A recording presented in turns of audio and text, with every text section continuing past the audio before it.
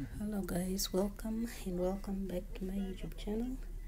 Um i know i shall be bringing you a video of um congo in the drc but well um something came up and i was like no let me show them a video of my hometown.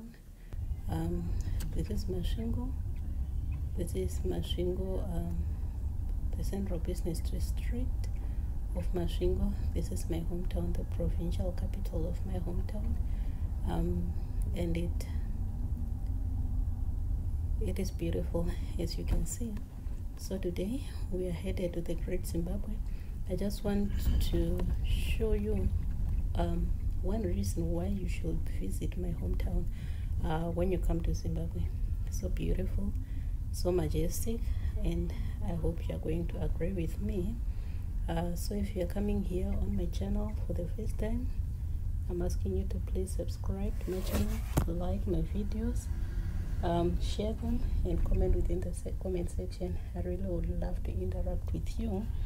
So let's go with me to Great Zimbabwe so that I show you why Zimbabwe is great, especially my hometown here in Masvingo.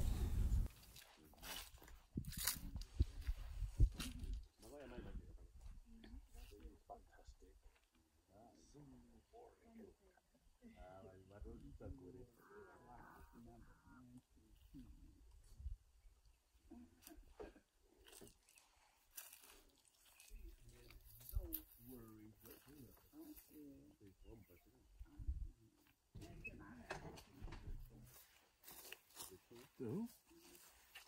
For, for what? Okay, don't give it to me, but okay. Welcome to Great Zimbabwe for the site. Again, my name is Cherish and I'm going to be your guide for the next two hours. So right now we're at the site museum. The site museum because everything which we're going to witness inside that video was found within the Great Zimbabwe site and surrounding areas. So after the after the site museum, we're going to the Great Enclosure, which was the residence for the Queen. And from the Great Enclosure, if you don't mind, we're going to the Karanga or the Shona village, which is just a model trying to portray the Shona living traditions. And uh, from the Karanga village, we might as well go to the zoo complex, which was the residence for the king. Um, so I don't know if I should give you the brief history here or after the museum. I don't. After the After museum, museum. Oh, that's fine. So, So I wasn't um, allowed to record anything um, from uh, from this building here because they say it's policy. So I had nothing else to do or take pictures. They won't allow. Um, so this place or these walls that you see here are the original walls uh, that were that were built by the Rozvi people. Uh, nothing have been added, nothing have been subtracted uh, to these stones. This one here you see are the original walls. Uh, so they say man, nothing much have been done to them or maintaining them uh, Um, because the they say the there's nothing of with the word significance that have been found The on these walls. Um, so they are just left like that. Um, but yeah, this is a very beautiful place showing the history of the Shona people, the Rozvi people here in Zimbabwe. Uh, so these walls are the original walls, no mortar, no um, uh, what you call it, no no mud, nothing holding these stones together for decades and decades of years. They've been just like this architecture uh, that even today no one comprehends and no one can imitate, uh, showing how great Zimbabwe is. And look at the beauty of this landscape. Um, Zimbabwe is just beautiful, I tell you. So one day, if you are not Zimbabwean and you are watching this video, you feel like you want to visit Zimbabwe and you want um, to see something great about Zimbabwe, I'm inviting you to my hometown here in Masvingo so that you come and visit the great Zimbabwe. It will show you how great Zimbabwe really is. Uh, so this place here, uh, they are leaving it untouched. It's so natural. Everything is just back in its natural habitat. Like, look at that. Is this not just beautiful? Yeah, so this is Zimbabwe for you. So let's go and I show you the rest of Great Zimbabwe. Magnificent. This is so beautiful.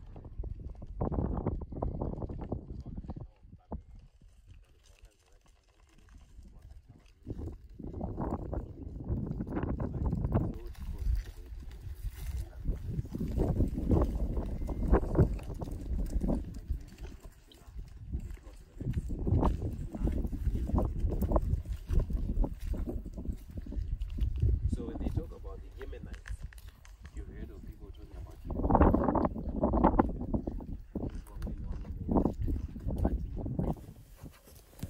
Um, so this is um, where the name Zimbabwe come from. Um, Zimbabwe means house of stone. Um, like just you see here, this city was built out of just stone. No mortar, no mud, nothing holding the stones together. So this is where the name of uh, our country comes from. Zimbabwe, meaning house of stone, and these are the stones uh, that were built. I, I really am not sure when, uh, but they say during the 11th century. That's when um, these walls were put together here, and these that you see here are still the original walls uh, that were built during the 19th century. Um, I believe they were much higher, or they say they were much higher than this, uh, but because of weather and you know, we have animals here. Um, some of the stones are falling off and they are becoming shorter and shorter by the day. Uh, but these are the original walls. These are the original parts that our ancestors back then were working on um, during the 11th century. Um, so this is great Zimbabwe. Makes Zimbabwe great. You know, if there is any reason why you should come to Zimbabwe, is um to come just to see these walls, just to see like um how Zimbabweans like are people who are so innovative. Um, you know, we are we are great. We are great. This is great Zimbabwe. Zimbabwe is great, and I think you can agree with me here. Uh, so, there are no villages like immediately around this place uh, because they want to preserve this place. They know that the more the people like live around this place, it's going to tempered. It's going to be tempered with. Uh, so there are no people who live like immediately around this place. Uh, so let's go with me as I show you more of this great Zimbabwe. Um, and on this day, it was quite windy. It was windy. Uh, so I think you'll understand like the windy sound that is there. Um, it's because it was windy on this day. So let's go and explore more about the great Zimbabwe. Mm-hmm.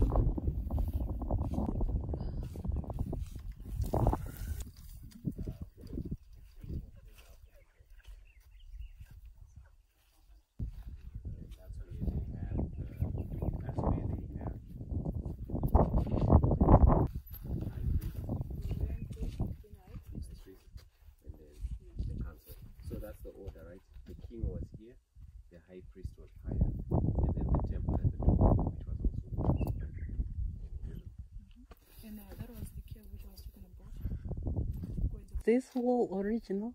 Yes, it's original.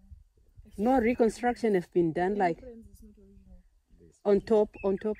On top, on top, yeah, it's still not original. The entrance is still not original. Or is or just the, the, the, the, the entrance is the one that is not original. Otherwise everything else is original. Wood that they used to construct that one. That's the one she was saying chases away evil spirits. Uh-huh. And uh, again, it was the construction was done in 1927. 1927? Yes.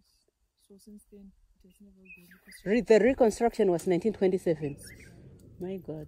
So the queen was inside here. Yes. The king up there. Then uh, Karanga village. It's a model trying to portray the Shona living tradition. So it will be showing uh, a structure of a polygamous man, a man with five wives. And there we are told a man was the Yeah, one responsible for visiting his wives. But in the royal family, we are told the women were the ones visiting the king. So that was the difference there. So You have to go up the hill. Yes. So these walls you see here are the original walls. No mortar, no mud, nothing holding them together. It's just stone upon stone, one stone upon another stone for decades and decades since 19. Don't know the 11th century. They say is when these um, these walls were built. Nothing holding these stones together just one stone upon another. Well, yeah, makes Zimbabwe so great. This is what makes Zimbabwe great.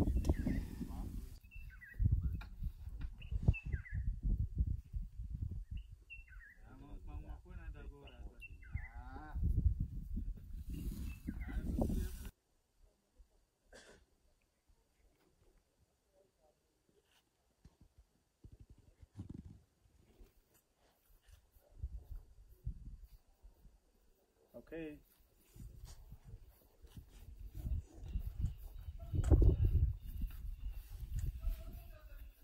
So what are those um, monuments?